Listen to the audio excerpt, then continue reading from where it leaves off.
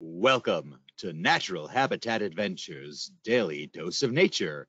Today's topic Frosted Fur and Feet, the fabulous Arctic fox, presented by NatHab expedition leader Kristina Disney. I'm your host, Rob Mess. Thank you all so much for joining us here today. Over to you, Kristina. Thank you so much, Rob and I'm very excited to have everyone here. I haven't actually said that alliteration out loud myself yet. Frosted fur and feet, the fabulous Arctic fox. It's a bit of a, a furry mouthful in, in, certainly some ways, but it was uh, it was fun to hear, and I'm finally excited to get to present this. So my name is Kristina, as Rob mentioned, and I've been a, a expedition leader here with NatHab since about 2018. And I realize that some people are turning it tuning in for the first time, and some people have been following along um, over the years since we started the Daily Doses of Nature.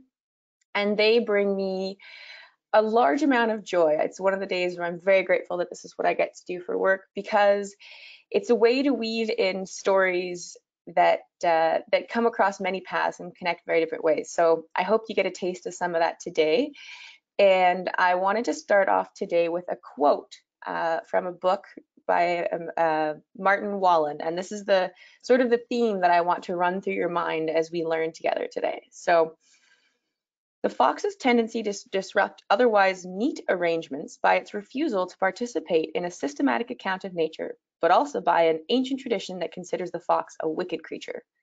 The fox seems to be open for study as any animal, but is notorious for turning up where it's not expected or nor where it should be, and for changing its defining qualities to adapt and take advantage of different situations.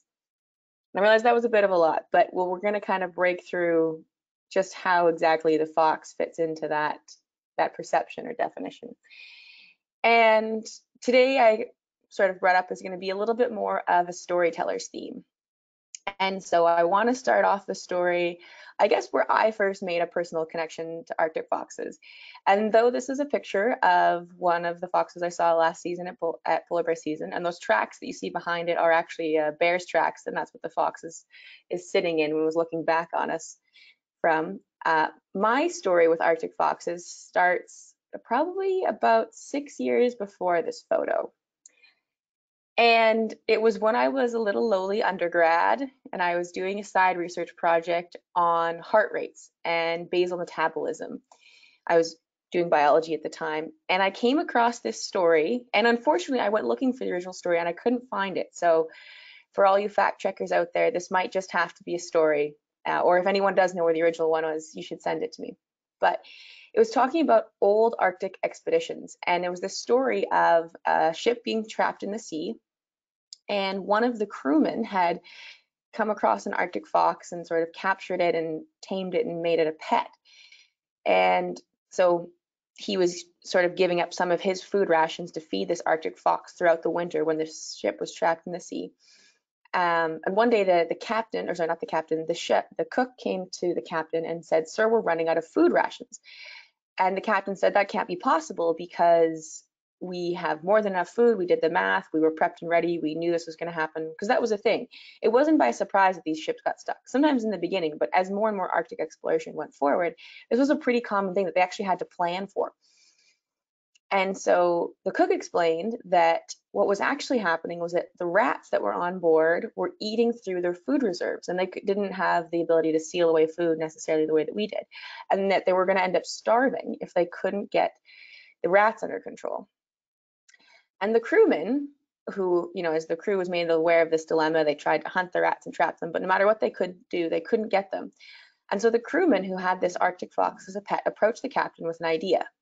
And somewhat reluctantly, the captain agreed. And the whole crew took all of their food, all of their supplies, they completely emptied out the ship, took everything out, and they set it all on the sea ice beside them and set up tents, and then they boarded up the ship. They they essentially sealed it off completely and they lived outside the crew for a week. But within that boarded up ship, they left the Fox. And after about a week or 10 days, they unboarded, they they opened it up, and inside they found the fattest fox that anyone had ever seen, and every single rat on that ship was gone. And that was how the crew survived the winter, solely because of their fox friend. And so that story has always stuck with me for so many reasons. Um, one, I think because of the idea of of the of the man taking the Arctic fox as a pet, but the idea that this fox that had never seen a ship or never done anything with a ship and a new prey, right? They don't have rats in the Arctic. They live off of lemmings and different marine food sources. Could all of a sudden master that in a short amount of time and get every single one is a pretty amazing feat when you think about it. So that was, I guess, my first connection. And the next one uh, wouldn't be until years later in 2018, actually. This was the winter, this was the spring before I ended up going to Churchill for the first time. I was at a winter festival in Winnipeg, Manitoba, which again is a very, very cold place. And let's see if this will work here. The fox that you see here was at the festival. Now, for those of you who are checking in, you might have some qualms about a wild animal being on a leash, and that's totally fair. I'll just explain the circumstances. This was a rescued fox um, that was being taken care of by one of the wilderness shelters just outside, and so it won't be reintroduced to the wild. It's now meant as a edu it's it lives within the in the rescue center and is a part of education. But I was sort of fascinated by its little mannerisms and digging and playing in the snow, right? We were all outside there playing in the snow and so was the fox. So there's just a lot of connections, I think, that, that really stem from it. And so it's when a little creature like this looks at you, it's hard to not get uh, sort of entrapped in that gaze, right? And they're they're pretty amazing, right? You know, we can talk about the basic biology biological features of them. They're really quite small. They're anywhere from two to three feet long, with about a foot of that being the length of their tail. They weigh anywhere from about five pounds up to 20 pounds. And they're just very small little creatures, but they survive in this huge, massive expanse. And they're so well adapted that they're they're pretty much masters of their environment. And I guess for me, beyond just their their cuteness, the reason why I have so much sort of respect for them is because they survive in one of the harshest climates that we really know across the world. And I can't ever help it. I always have a soft spot for things that survive in unlikelihoods. It's like the, the tree on the edge of the cliff, the fox in the blizzard. They're the ones that make it through. And so uh, I always wanted to give a shout out to that.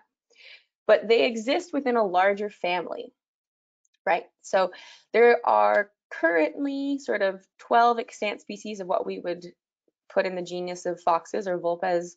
Vulpes, they have a funny name. It's a double one. And they also have lots of other cousins that are in the fox family. And so the journey of evolution that gets us from our general, let's say, red fox cousin to our Arctic fox is a is a bit of a cool one actually. So when we look at their evolution, it's about 3 million years ago is when a lot of this branching happens. And for anyone who followed along with our bear evolution webinars that we did, I guess going on a couple weeks or maybe a month or so ago, this common ancestor that most carnivores share around 30 million years ago, right? So if you look on the on the branches coming out of this evolutionary tree, you can see the panda and the polar bear, right? um, which they split off in a different line, but that canid line, like dogs, wolves, things like that, and into foxes, that they all form from that same arc. And so around 12 million years ago, the split happens between who would be the fox ancestor and who would be the dog ancestor. And then it's around 3 million years ago that foxes really start to diversify. And now this is, I think, maybe the one of the inter more interesting theories in evolution. There's a, it's called out of Tibet. And so some people refer to the Tibetan plains as the third pole of the earth. So we have the North Pole and the South Pole, but the idea that this really high altitude area creates another Arctic ecosystem, right? You go higher up in elevation, you get those more colder, distinct climates. And so this idea isn't just applying to foxes, you know, they look at things like yaks and that sort of an adaptation to surviving in really cold weather, and then how those species would have dispersed. So another thing that sort of to keep in mind, which I know this maybe seems unrealistic, but is that uh, the climate of our world has changed a lot several different times. And so what we would call Arctic conditions now once extended much, much further in different ice ages of the world further south. So that connection or that overlap isn't as unlikely as you might think of it now. So when you look at this map, those two red stars in the Tibetan plain represent some really cool fossils, which I'm going to show you in a second, that they were recently discovered. And then all of those yellow dots, so there's the yellow dots that you have sort of in the current Arctic. I think they got one up there. Excuse me, but those other yellow dots represent the other, other Arctic fox fossils that have been found over the last few million years, right? And so these would be sort of the furthest south ones for sure that have been found.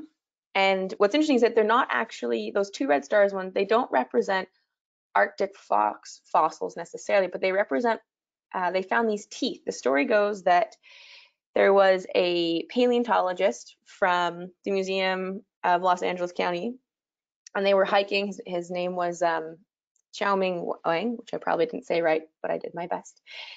And story goes, they were on a hike and they found these teeth at about 4,000 meters elevation and their pattern, their dentation, and the way that they're really more like scissors, which is a carnivore thing rather than like grinders, like you and I, what we have for our molars. The closest relative that they seem to have is to the Arctic fox. And so it has this suggestion that the ancestor of the Arctic fox probably evolved in that colder climate in the south and then migrated up moving north, which is pretty cool when you think about it. Um, but there's also a huge gap. So the interesting thing is that these teeth are dated to be about three to five million years older than any of those other yellow dots that I showed you. So it's a really cool theory. There's a little bit of skepticism because there's such a huge gap in whether or not this is it.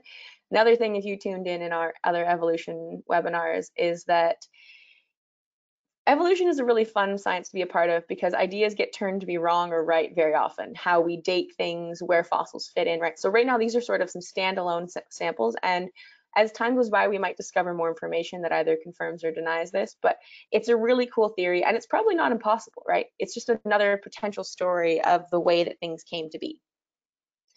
But the take home is that foxes exist mostly circum, uh, circum, what am I trying to say? Circumpolar is Arctic foxes, but around the world, all there's different species all across the world, and they fill these amazing niches.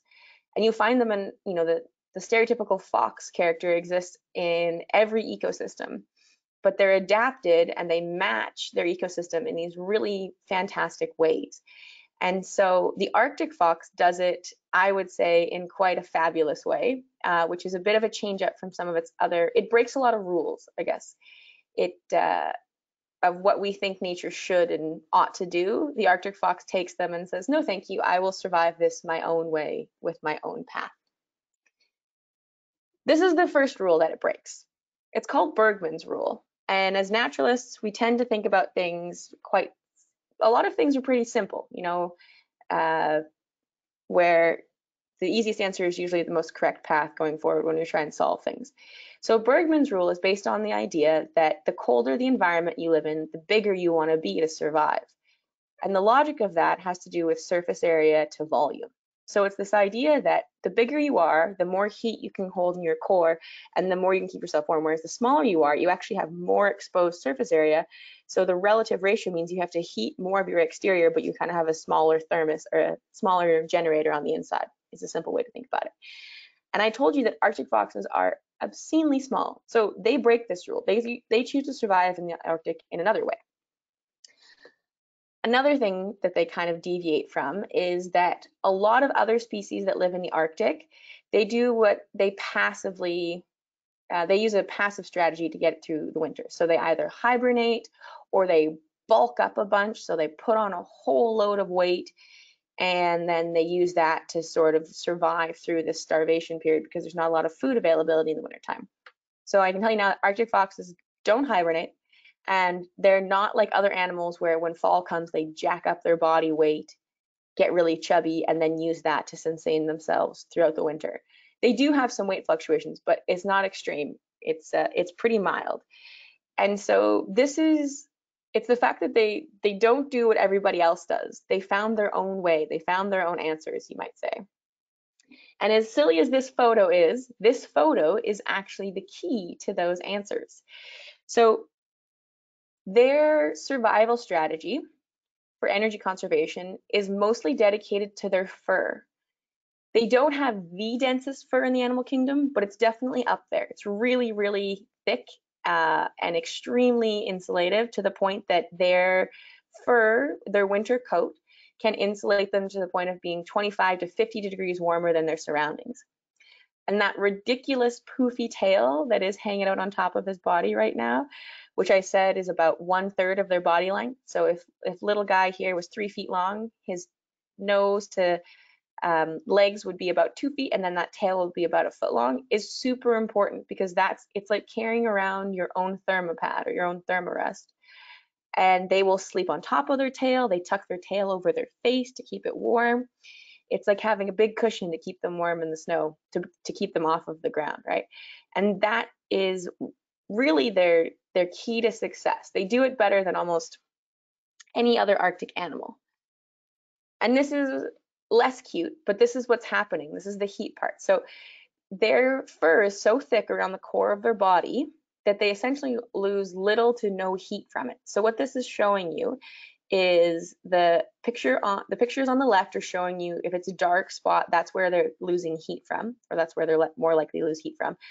And then the diagram on the right, all you really need to take note of is that if it's flat, they're not losing any heat. And then the higher up their body part is, that's where they're losing the most heat from. So if you look at that graph, the place that they actually lose the most heat from is their eyes, the only little spot, but it's a really small surface area. So you can see that it's kind of kind of worth it. But then obviously their ears and their nose and their paws, right? These are their vulnerable spots where they're losing heat to. And heat is the heat is the currency of the north. How you use, save, store energy and convert it into heat is how you survive which was leads us to their next really cool adaptation, which is countercurrent circulation. So the idea is that their veins, their arteries and their veins, right? So your blood leaving your heart and coming back to your heart, it conserves energy by being side by side as it goes to the extremities. So as it goes to the paws. So if you look at the top one, the top paw is an example without current, countercurrent circulation. So that means that warm blood goes to the paw, cools down, and then cold blood gets sent back to the surface. So for you and I, that's how our body works. Our arterial veins are really deep, right? If you ever think about cuts, or if anyone's a, a nurse or a first aid or anything like that, right? We worry a lot about arterial, the ones that are coming from the heart, and those are usually deeper cuts, and that's going to pump out really heavy blood. But venous blood is coming back, and it's a lower one, and so there's a layer to that in our system. So when we look at most of what we can see, if you look at your hand or your wrist, you're looking at your veins. Your arteries are usually a little deeper. So if you're a fox on the hand, yours are paired side by side when they go to your extremities. And the, if you look at the heat exchange, right, it makes a lot more sense because their, let's say their shoulder or, you know, up their, up their elbow is still around 30 degrees, but as they get closer and closer to their paw, their paw is getting cooler and cooler, but the actual difference in the heat in the blood is very, very similar between those arteries, the red, and the veins, the blue. Now in this example of the picture, it's showing you that the paws are between 24 degrees Celsius and 15 degrees Celsius. Now I'm going to tell you that the fox actually keeps its paws just above freezing. So we're talking, you know, if 32 Fahrenheit, so like probably not even 40 degrees Fahrenheit, like it's two, three degrees Celsius is where they keep their paws. And then they warm their blood up up to like your and I's body temperature, up to those mid 30s for by the time it gets back to their heart, which is amazing because if you and I, like if we were to get zero or two degree blood to our heart, our heart would sh be shocked and probably stop and we would die. So they have an amazing, amazing circulation. I hope you realize how cool I think that is because it's super impressive and I'm jealous of evolution and who got what. This is another rule. And admittedly, this one they don't break, this one they follow perfectly. So that's what's happening on the inside of their body to conserve heat. And then also the shape of their body, right? So it, they're small and everything about them is compact. So this is something called Allen's rule. And it's the idea that the warmer you live in, the more you want your blood to go into this big surface area so that it can cool down. So the fox and the rabbit or the hare that are on the left side would be examples of animals that live in the desert. They've got these big ears where they can get disperse a lot of heat.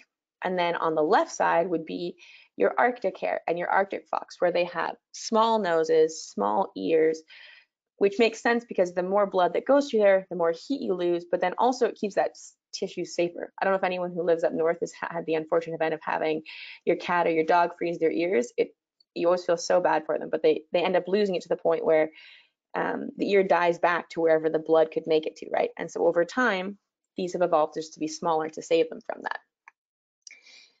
So all the things I've been talking about have all been about heat, right? And I know it seems funny to focus on this, but it's heat and energy. That's that's the most important thing in the Arctic. That's the take home. Got to keep holding on to that thought. So if you're going to survive in the Arctic, you have a few different strategies that you can go through to conserve your heat. You can, or should say to survive, to manage heat, let's say it that way. You can increase your heat production, right? So you can just burn more energy, eat more marshmallows and give off more energy to keep you warm. You can reduce reduce your thermal conductance. So that means like the fur, you can say, I'm not going to lose heat from my body. I'm going to be so well insulated, like a Yeti cooler that I stay the temperature that I need to be and the rest of the world will change. And then also you can reduce the temperature gradient between the body and the environment. So you can actually lower your body temperature so that the gradient isn't so extreme, which is another amazing thing that foxes can do. They actually lower their core temperature, which does two things. One, it lowers their metabolism a little bit so that they don't need quite as much energy. And two, it makes it so that that gradient isn't so extreme and so that they can actually power through um, really periods of without a lot of resource, right? Because every time they eat, then they can reset and then they have more energy, but their body needs to sort of feed it out accordingly. So, so far I've kind of, heat is related to metabolism and metabolism is, is related to how we regulate our body and everything like that. And so these next couple articles, I, I'm, I guess I'm bringing up because I'm admitting that it's like a loss of one of my favorite stories.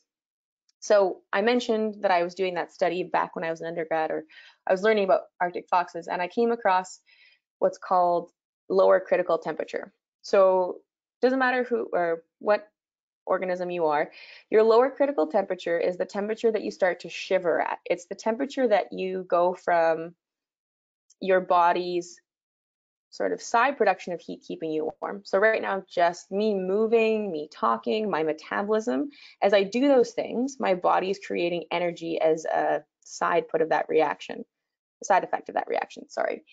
Whereas if I'm cold, right, if I wasn't sitting in a nice climate controlled room right now that was at a comfortable degree, if I was cold, my body would start to do certain processes to create heat. So that's what we call the lower critical temperature. It's when your dial switches from I'm warm enough doing just being to I need to create heat because I'm cold, right? Now there was this old study from the 50s. That's what this old this top paper was about, and it was saying that Arctic foxes didn't even shiver until it was minus 50, which I thought was so cool.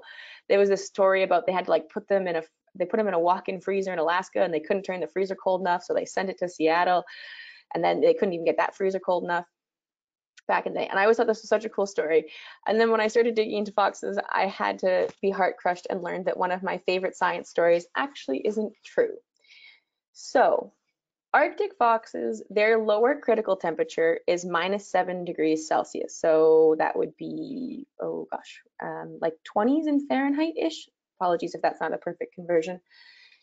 And so that's still really impressive, just to be clear. Like your, our uh, lower critical temperature, I think, is like high teens, low 20s, so like 70s in Fahrenheit. Like we're we're on a different spectrum. We start to get cold very easily, more or less. So minus seven is still really impressive in the animal kingdom, but it's not this crazy big number. And the reason why these studies are so different, it has to do with partially how we used to measure significance in the 1950s versus how we look at it now. But this is the real kicker and this is the part I think is super cool, is that remember when I said that their fur is so insulative that they can up the it's like wearing a parka that makes sure that you're always 25 or 50 degrees warmer than the outside world. So here's the thing. If it's minus 40, or let's say it's minus 60, it's really, really cold, which or minus 50 is reasonably cold here. In, or no, sorry, let's stick with minus 40 because that's the same in Fahrenheit and Celsius. Let's stick with that logic. If it's minus 40, and they're wearing their fur slash parka that insulates them up to 50 degrees Celsius, it means that when they cover their face with their tail and they lay on it and they're all tucked in, even though it's minus 40 outside, by the time you get through that layer of fur and you get to their actual skin surface, it's only, if we take off the 50 degrees, it's only zero with their skin, which means that sitting in minus 50 outside or minus 40 outside, it's zero degrees at their skin, which is above their lower critical temperature. That's why they're still not shivering at that temperature, which is wild and crazy. That story that I told you about them having to find a cold enough freezer to make them shiver, they had to find a freezer, I think, that was like minus 90 or minus 100 Celsius in order to get the fox to shiver. And that's why, it's because their fur is so insulative. It's so cool. So thank you for putting up with that. Oh, whoops, this is what I wanted. There's one more thing. And so if you, while I was telling that story, if you took the time to read what the title of the bottom paper here, it says seasonal variations in basal metab metabolic rate and lower critical temperature response to temporary starvation in the Arctic fox. Now, I said that they're really good at surviving in the winter time because they have all these things, but they still have to go through periods of fasting. And this is why I want to talk about this because I think that as humans, our physiological response to being hungry, we're very conscious of it. And the idea of actively starving any animal for the sake of science, I think can be really harsh in a lot of people's minds. But I think it's important to understand how body systems work. I don't, I'm not, I'm not condoning, you know, the, the starvation of animals, but I just wanted to roll through the science of it so that people can really understand what's happening because I think that places these actions and how we understand the world and how we understand their bodies in a better um, perspective. Because really, we can only ever understand our personal experience, right? So it's hard to understand other things. So when we talk about fasting into starvation and and curving into starvation, it's actually three different phases. And so, and, the, and our bodies go through this too. This is the exact thing that happens, but our bodies go through it in a much different way that's more drastic because we're not designed as an animal that's meant to fast. I mean, there's intermittent fasting and things, but not in the same ways that an Arctic fox or a polar bear would fast. A polar bear can go months without eating. An Arctic fox can go days to weeks, right, between meals. It's it's a much different thing. If you and I were to go to that long, our bodies would essentially start to dysregulate and we would we would start to die. Their bodies are different, but the process is the same. They're just better at it. So phase one is we switch. Um, we we don't have food coming in, and so our body starts to use up all of the sugar, all the glucose that's in our bloodstream. So that's phase one. And that's when we start to ration. Um, that's when we stop like synthesizing proteins. And it's when we start saying, whoa, save all your proteins. We're going to need those. And start focusing and we're going to start shifting gears into fat conservation. Now, the second one is when we switch into consuming fats. So then we start breaking down our fats. That's phase two. That's what um, those like ketone di uh, keto diets and things like that. So that's the focus on that is that you switch over to breaking down your fats into your sugars for your body to consume to keep your nervous system going, to keep functioning. And then phase three is when you've run out of, you don't have any available sugar in your blood. You no longer have sufficient fat stores to keep you going, and you start breaking down your own proteins. And that's the really dangerous and unhealthy one. That's essentially when the body is starting to degenerate and bad things are on the horizon. So that's the real pinch point, right? So those first two, animals flip, animals, you and I, we flip in and out of those things and they will do it over days or weeks, right? So an Arctic fox, that study, they had them, I think, for eight days going, which for you and I would be an obscenely long time, but their body was only just getting into the ketones by those days, right? They weren't starting to break down of that. So just keep that in mind, um, both to understand how amazing their body is and also just for some uh, perspective on, on the science. Okay, so I feel like we've talked about what their bodies are made of. Now let's talk about their behavioral adaptations. So the Arctic fox has one of the shortest lifespan, I shouldn't say shortest lifespans. It has a very variable lifespan and it can be quite short. So the average lifespan of an Arctic fox in the wild is between three to four years.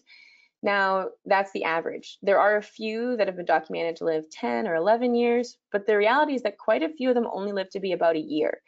And they have this really harsh lifestyle, and that's why they have these high fluctuations, right? There's actually a really large number of, of foxes. There's around, um, it's sort of interesting because their, their population fluctuates so much that it's in this we say several hundred thousand. It could be anywhere from 500,000 to a million, but we, we don't really know. And that's sort of the, the total population. But it also fluctuates a lot during time because their populations fluctuate with their main prey source, which are these adorable Arctic lemmings. So if you look at this graph, the the dot the dashed lines, excuse me, are lemming populations, and then this is in Bylot Island and Nunavut, and this is just an example of the the bars are the populations of Arctic foxes following that. So they have this really variable life cycle where when their prey goes up, there's way more foxes. When their prey goes down, the foxes pass away. But the other thing, so lemmings are, let's say, their key food group for most of the populations. But they are an Arctic species and they live, if you look at the Arctic, and so this orange here is their habitat and where you can find them, that's a lot of coastline. That's a lot of water, right? And so you do get a divergence in how they live, right? You sort of get these, these different populations. And some of them are mostly reliant on lemmings, and some of them are reliant more on marine food sources. So whether that be birds or um, things that the tide will wash up, crustaceans that they can snag, things like that. And so you tend to get these, these populations mixed up and sort of smushed together. There's about eight subpopulations throughout the world. Um, and there's not a direct crossover between this, but they, those subpopulations tend to have more characteristically lemming based or more characteristically coastal based. And with that, there's also a color morphology that comes from it. So if you are not someone who sees Arctic foxes very often, you might more be more familiar with the color morphs of red foxes. So there's the typical red fox, but then the other foxes that you see in that red box are still genetically red foxes, but it's a silver fox or a gray fox or a cross fox, which has the two colors. And you'll see those both and they they're sort of like redheads or things like that in humans, right? The same thing happens in Arctic foxes, but we call it a blue morphology. And I know they're not really blue, uh, but it's the same way that we would sort of say a blue roan horse. It's in that same caliber, or caliber of uh, coloration. There are far more white variants than blue, and that's because most of the Arctic fox populations survive off of lemmings, but it's the some of the coastal ones that stick with those.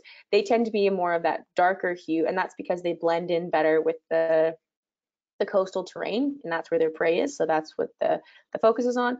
And those that shift with the lemmings, they tend to go full white.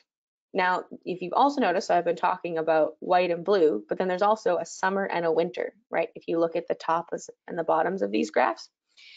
And so Arctic foxes, like the Arctic hare, do do a um, coat change, and both colors do. So when we look at this here, I actually really love these time series because it's not very often that you get to sort of see the whole thing in flux. So this is showing how their fall color change would look. So the picture on the left is of white foxes who are going from their summer coat at 0% winter to 100%. And then there's the blue foxes on the right who are doing the same thing. And so they are not, you know, it's not nearly as distinctive without that sort of white and gray change, but they're the consistency of their coat is changing, which is maybe what's more important for them. And then we can actually see the same thing in reverse come spring, right? So this is the spring molt. So this is, if it's, oh yeah, and this is labeled slightly differently. So if you look at the individual pictures of the foxes, it tells you whether it's a blue or if it's not labeled, it's a white, and then it's sort of about 95, and now we're working through a time sequence, right? So in the springtime, they're still mostly white, but their new coat is starting to grow in, and this is when they get that scruffy look, which is a big distinction between sort of the fall molt and the spring molt. The fall, they're just getting fuller, whereas the spring is when they tend to look a little more raggedy. And you also get that sort of uh, patchy different colors, which is coming in, which I think looks pretty cool, right? But again, we're seeing that down to 50%, down to 25%, and then we've essentially gone into full summer mode. And that's when they, that's when the blues and the white color morphs tend to, to look the most similar. And we find most of those blues along Iceland uh, and then along Greenland, and then there's a few in, in Scandinavia. And those are also some of the ones that get farmed. So when we talk about Arctic fox farming, it tends to be um, that color morph that, that people are interested in. So those fluctuations in their population, the way that they can sort of move so rapidly from season to season and year to year is because of their birth rates. So I said that we have lemming-based populations and coastal-based populations, or if you remember it as white and blue, that works too as a rough approximation. And so what that means is that um, depending on which way they make their livelihood, let's say, that decides how big or small their litters are going to be. So Arctic foxes have the largest litter size out of any carnivore. They can have up to uh, 18 pups in a litter, or kits, sorry, because they're foxes. And so they're able to, um, what am I trying to say here? Sorry. They're able to when there's not a lot of food, they actually, if they have that variable lemming source, that is when they have really large litter sizes. And it's almost, it's we call it jackpot um, reproduction, which I know is sort of funny, but it's the idea that if you don't know your food source, it's better to bet big and bet high and hope that it works out because it'll be more variable. Whereas in places where they have a consistent, reliable food source, they have a smaller, more consistent number of pups because they know that those will survive. And so maybe it's, it's there's different ways to think about reproductive uh, reproductive success, right? Um, and so different animals find different solutions for them. And it's really cool seeing one population find two different solutions to, to achieving reproductive success. Now with those fluctuations, um, just because I said one was coastal or one was lemming, it doesn't mean that they don't shift or move. And this next fox is probably one of the most famous ones. And so actually the, the pictures of it, but the story is of a young female. She was a blue Arctic fox. So again, just because they're coastal doesn't mean that they don't uh, don't go voyaging out on the sea ice. And she traveled so straight line or sorry, total distance 3,506 kilometers. She went from Spitsbergen, which is in the Svalbard archipelago in Norway, to the high Arctic in Canada. So she did a straight line distance was about 1700 kilometers, but that is a wild trip to make.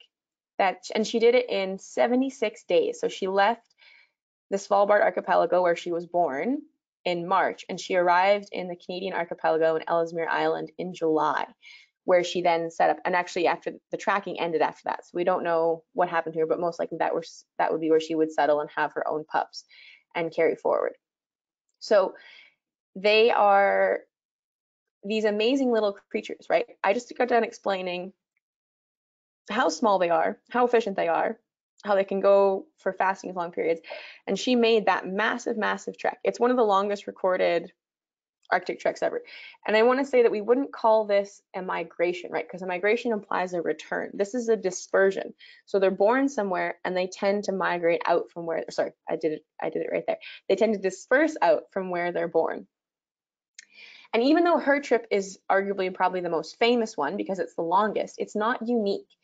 So this is a map of a bunch of foxes born in Bylot in Nunavut, and each one of those colors is a journey or a dispersion that they went, right? So this was study was looking at juveniles and at adults, and while more juveniles do disperse, it's sort of the young juveniles and some of the older adults will disperse because they're born in a really good pupping area, but then competition means that they have to go outwards to keep looking for resources. But just look at how wild and how far and unpredictable their dispersion was, right? It's something else to just take off into the unknown and not know what's going to be there and to figure out where to go. So it's a it's a pretty amazing lifestyle that they have created for themselves. So I feel like we've talked about their anatomy, we've talked about their lifestyle, but I would now like to take a little bit of time and devote some of our remaining time to talking about their personality and why the fox is uh, is so famous just simply by being known as the fox. And it comes down to, it does come down to their personality, right? You know, if someone says there's a fox in the hen house, it has a literal meaning, but it also has an implication. If someone says that, you know, if they outfoxed you, there's all these connotations that we have that exist not just in the English language, but multiple languages, multiple cultures. Uh, and it comes down to their intelligence, right? So this, the I know it's a little bit blurry, but you'll have to forgive it. It's a drawing from a 14th century manuscript of a fox pretending to be dead in order to catch a crow. And then the second one is from the 1960s, and it's four photos of the same thing happening in Russia. And I can attest that we've seen the Arctic fox do this with ravens in Churchill, Manitoba, when we've been on trip.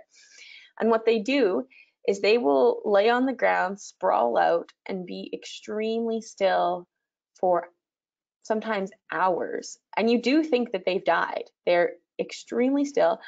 And these carrion birds will come in the hopes of trying to get a free meal. And after laying there for that long, just as the bird lands, the fox jumps up and tries to nab the raven. It's it's really cool to get to see. Um, but you have to think about that. Like that's an animal who has planned, committed, and thought through essentially a trap, right? Which is a very complex hunting method when you really think about it. And so there's there is this this intelligence there that we've sort of admired and also um, been sort of fearful of through through history.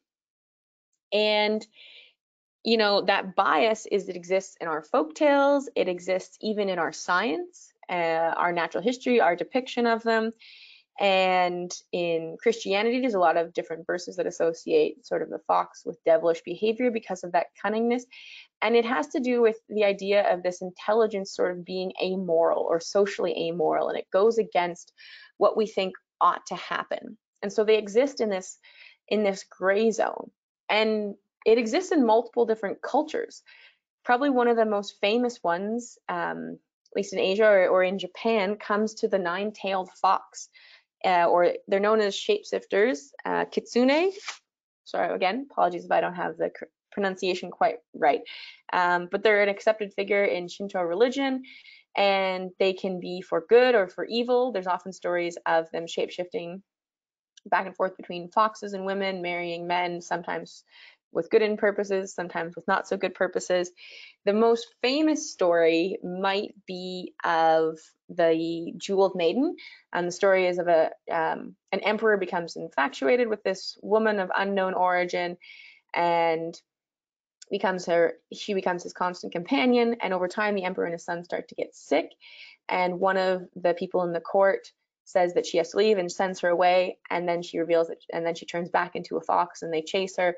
And then they they actually hunt her down and then she's killed and she's turned into a stone and the stone is this curse upon the land where anyone who comes near it um, will, will is killed until later on someone comes and um, releases the angry spirit from the stone and so there's sort of I did a very short version of a very cool old story. So I apologize. You should go look into it yourself. It's a really great, really great folktale.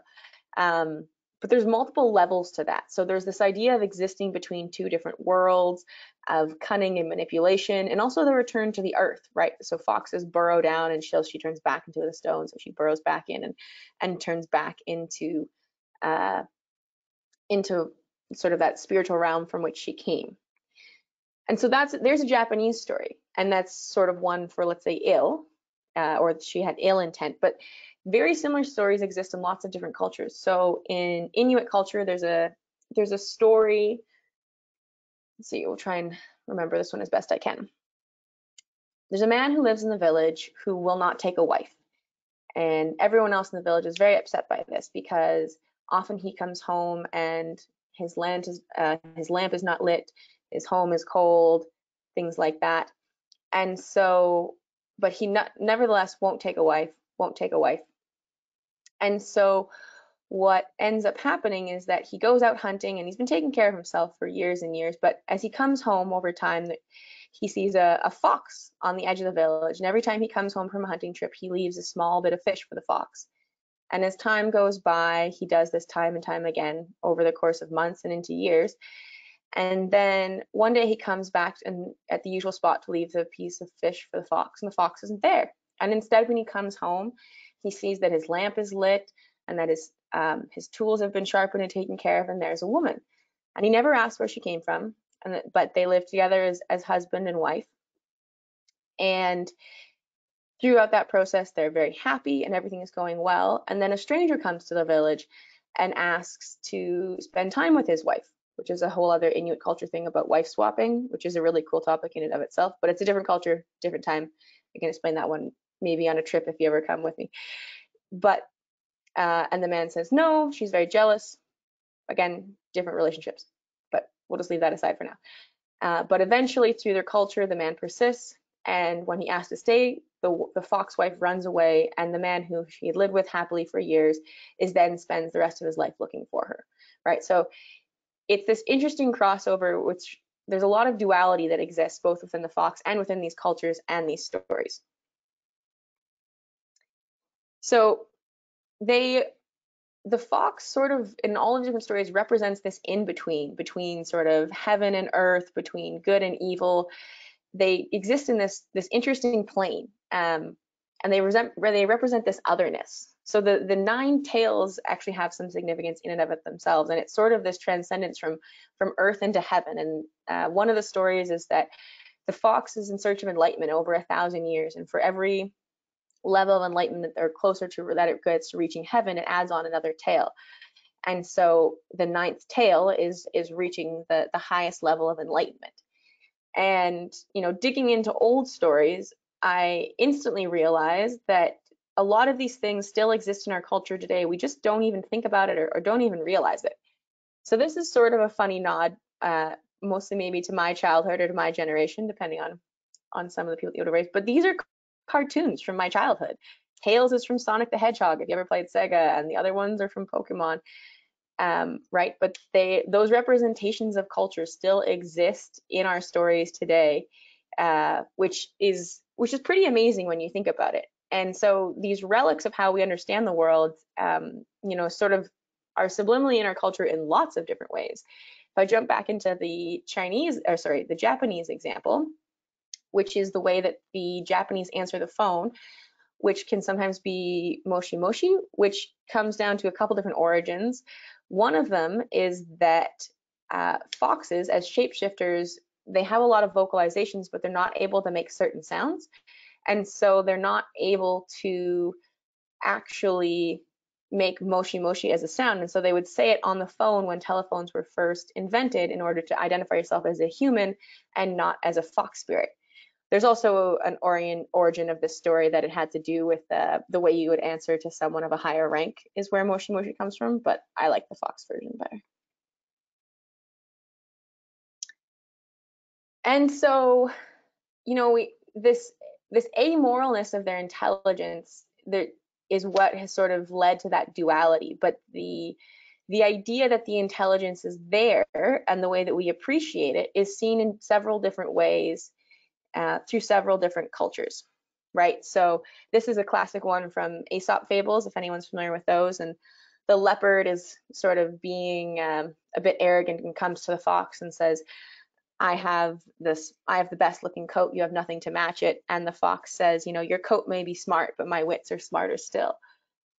And so this this intelligence, that persona that exists in all these different cultures it, it forms in different ways, right? So we talked about the the relationships of um, sort of that good or evil or that drawn in of of them turning of foxes turning into women, coming back and forth between the earth.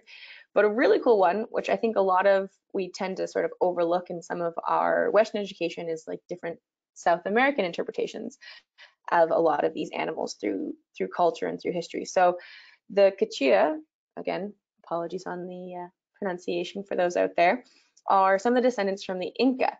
And in their culture, the fox represents one of the major transitions between childhood and adulthood.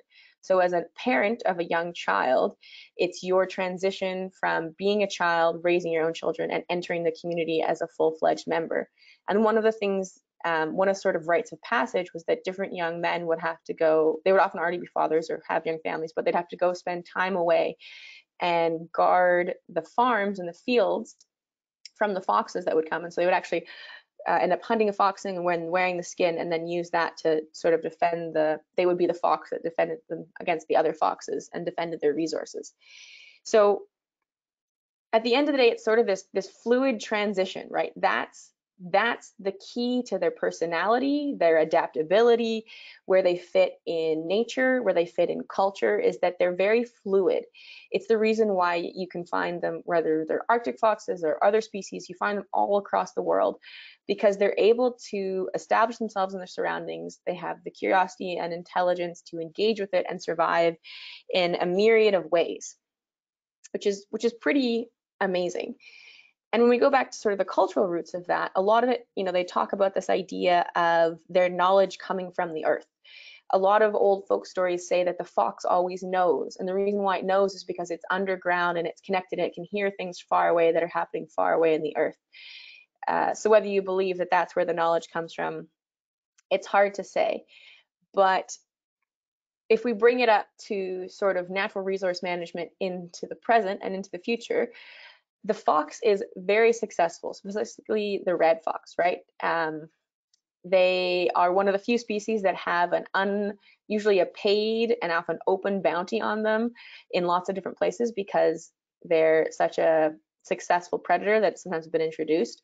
Australia is a really sort of prime example. They were introduced for fox hunting in 1845 and have since been responsible for the extinction of 20 different native Australian species because they were so successful being brought in. And again, a quote from the Martin Wallen book, which is in our time, the red fox has come to symbolize the destruction of indigenous diversity and the colonial spread of European and American monoculture. Consequently, even as a wild animal, the red fox remind us, reminds us we would, what we would like to forget, that humans entering nature tend to change it irrevocably, and so the red fox's status as a member of nature remains among the most ambivalent. And so, uh, you know, there that push of these red foxes into places they haven't already been is also happening in the Arctic. And there's a lot of concern given that with that image that I just showed you of red foxes predating on Arctic foxes. And as climate change is happening and we're pushing that barrier north, what's that interaction and overlap going to be like? And as a guide who's worked up there for the last five odd years, six years, I guess now, goodness, it's a question that we've actually talked about quite a bit. Uh, and in our own conversations as guides and people who live up there, we do see red foxes predating on them. And so we are really concerned about what that story and what that narrative is about to become for Arctic foxes. And so it's been interesting actually sort of diving into some of this and beyond direct predation, it doesn't seem that there's going to be, at least in this moment and time frame, competition between them because they have enough uh, difference in resources that it, the studies have shown that the fox, the red fox is unable to truly expand into the tundra. So at least that for the time being is still a safe zone for the Arctic fox because they're still relying on a mix between uh, red foxes rely upon a mix of tundra species, boreal species, and migratory species, whereas at the end of the day, the Arctic fox can more or less subsist largely off of their tundra species and some of the migrating ones.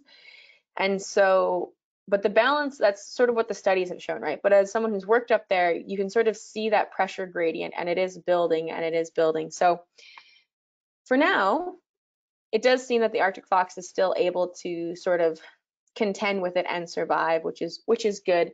But one of the big issues that is changing their story uh, rapidly is habitat fragmentation. So if you look at the picture on the left that's a map again of their the orange is their habitat and it's really this nice big circle that's all actually connected by sea ice, even though it's sort of blued out in that picture. Historically, they, they've been able to make those huge voyages like I showed, and so their populations have been able to mix.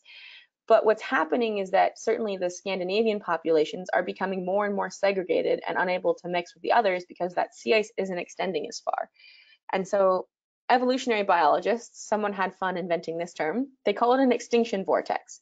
And it's this idea that something happens, there's a change or a catastrophe, which creates a small fragmented population. And then because of that, your population size goes down, the distribution goes down, and then your genetic malleability starts to change. So when they say an increase in genetic drift on the right-hand side, that means that uh, populations are becoming very, very different from one another and that you have inbreeding starting to happen and the genetic diversity starts to go down in each of those populations. And that means that the adaptability goes down so that when the next change comes, they're not able to respond to it. And so you get this spiraling effect. And so while I said that there are still several hundred thousand Arctic foxes in the north, which is a which is great, they're often considered least of concern.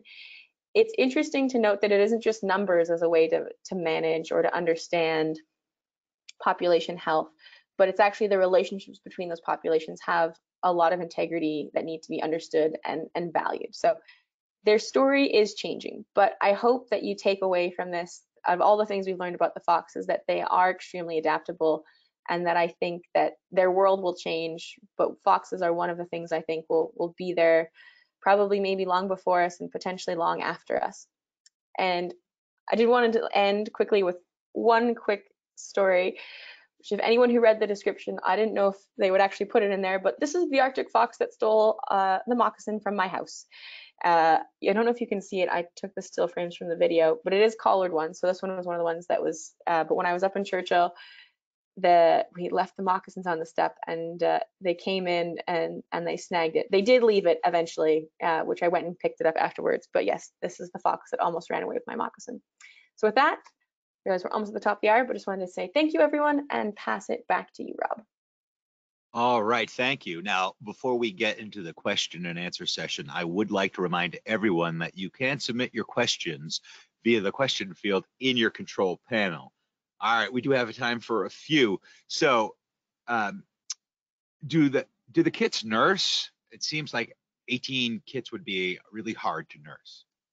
Yeah, they do. Um, I will also say that the survival rate of the kits is pretty low. So uh, they know, like, 18 surviving to sort of that six month range would be pretty unlikely. But um, yeah, it, it, the competition for resources starts pretty much as soon as they're born, and some of the runts would be would be bumped out of that, unfortunately. So, do the golden eye color of the fox do they does that serve a purpose?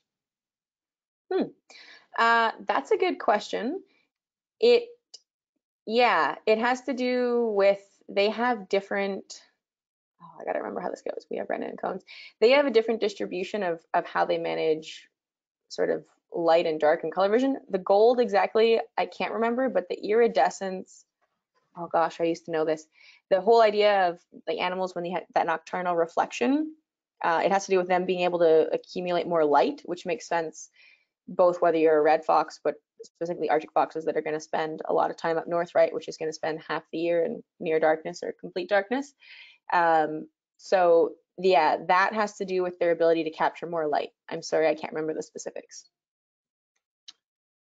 So do the different fox species interbreed? Ooh, that is a good question. So Arctic foxes and red foxes do not. Other species may, I'm not super up to date on them. It depends on how close genetically they are uh, and then whether their regions would overlap. So some of them will, some of them won't, but I can tell you that the Arctic fox and the red fox do not. So do Arctic foxes bury themselves in snow caves for warmth or to surprise prey? Yeah, I didn't talk about that, but yes, so uh, they will dig down to get out of a blizzard or to conserve heat. That's another sort of behavioral adaptation. They will, I haven't heard of them burying themselves to surprise prey. They kind of do the reverse when they're hunting actually. What they'll do is they'll hear the, the voles or the lemming underneath the snow and they'll track it from the surface and then they rise up on their hind legs and they actually puncture through with their front paws and dig down and, and grab them that way. So they do definitely hunt by surprise, but usually in the opposite direction. Rather than bursting out, they're jumping down. So do you know, do we know what the coldest temperature that a red fox can tolerate is? Ooh, I don't know their lower critical temperature or what they can tolerate. They they can survive in I would say nearly equally cold temperatures to the Arctic fox, but their body is not as efficient at it. Is kind of where the line is drawn. So an interesting thing that they've learned, well, that we've known for a long time because of hunting and trapping, is that depending on where you catch a fox from will decide the degree or what we would say in, in trapping terms the, the quality of their coat but red foxes that are from up north that one that i pictured that was super fluffy like those are the really expensive ones that get sent off back when hudson bay was getting settled and all of this was a just basically a fur trapping area um, those are the ones they prize the most. That's how come they took so much effort to hunt way up north, even though it was way harder, was because of those coats. So they're able to adapt just as their populations move north to surviving in that colder weather, but they're not able to. I don't know. I don't know if their local temperature would still be minus seven. It might be higher. So what that means is that they can survive in as cold a temperature, but it costs them a lot more energy. That's the thing to remember. So they'd have to consume more and change their behaviors in order to keep up with that level of cold. So is the gray fox another branch of, of uh, the Arctic fox or the red fox? Oh, okay. Colloquial names are, or local names are such a different one. So there is a species of its own that's called a gray fox, and then sometimes people call the color morphs of a red fox a gray fox. So I know that's a bit confusing, which is not a great answer. So if you look it up, but yeah, there, there's a separate species that are um, smaller. They live further south called gray, fo gray foxes, and you can find them sort of more continental. And then there's also a color morph that some people call silver, some people call grays, and that one's the same species. So it, I don't know which one you have in your mind right now, but there, the answer I guess would be both, really. So, uh, what are the main predators that do hunt the foxes for, Hmm. the cold weather? Sorry, that hunt the foxes themselves or hunt Yes. also hunt the same. Oh, okay. Um, honestly, they don't have a lot of predators. Arctic foxes, they're fast enough that polar bears don't bother with them. A wolf could outrun them, but it's not really worth it as a snack. So unless they're sort of getting up in someone's business or potentially are weak or injured, nothing's really going to go after them too directly. Then, uh, but things like falcons, eagles, those will go for them. So when those are up there, like eagle, uh, different golden eagles have their their migratory circuit will take them up to the tundra, so they'll they'll go for foxes if they're out in the open. Um, but it's actually a short list. Their their population is mostly sort of bottom up control. It's their food availability that decides their abundance rather than predation upon them. Do we know why the Arctic fox disperses so far? Is it simply for food resources? I don't have an answer to that, and I don't know if the other scientists do. But in simplest terms, yes. Uh, but it's got to have to do like it's got to have to do with resource scarcity. So, um, and this is again a bit of a guess. So feel free to agree or disagree with me on this one.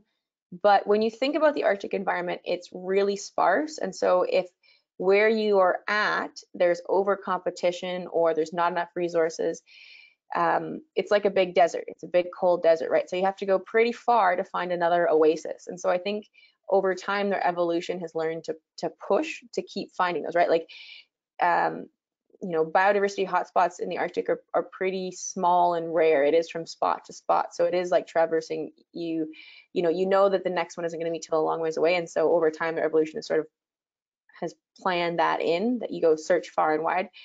Um, I mean, also keep in mind that while I showed you dispersions that were really far, there's also some that don't go very far, right? There's some that will be born and die in the same 50, 100 kilometer radius because it's a really high productive zone. So both exist, right? Again, this is about their adaptability, their ability to change whatever, to match whatever their environment is sort of throwing at them. Is there a rabies issue in the fox communities? Yeah, so Arctic foxes and other foxes as well, but we'll just talk about Arctic foxes, are the predominant carrier of rabies in the Arctic. And now that you've had a sense of how far they can travel, you can see how easily it is for one subpopulation to potentially infect another. And so as climates warm and as those interactions with more southern animals increases the introduction of rabies, their ability as a vector to carry it into other populations is really high. And so it's something that's being actively tracked. Well, thanks for addressing that. Unfortunately, that's going to be the last question that we do have time for today. So I'm going to throw it back to you for your closing comments. Thank you everyone for tuning in and talking about one of my absolute favorite little furred friends. I hope you all have the chance, if not to interact with an Arctic fox, but hopefully with a fox somewhere in your own ecosystem at home. Uh, there's nothing more amazing than settling in to watch a fox who you know is watching you. So something I hope for, for everyone out there, but regardless, uh, enjoy your day and I'll pass it back to you, Rob. Kristina, thank you so much for taking the time to present for us today. And I would also like to thank everyone who tuned in today. If you're interested in information on how you can travel with NatHab, give us a call at the number on your screen, or you can send us an email at info at nathab.com. Our adventure specialists are happy to help you out. Join us tomorrow for our next Daily Dose of Nature. You can check out this week's lineup, including registration links, on our website at nathab.com slash webinars. We did record today's presentation, and we will have the replay available on our website soon. With that, I will conclude the webinar. Goodbye, everybody. We'll see you next time.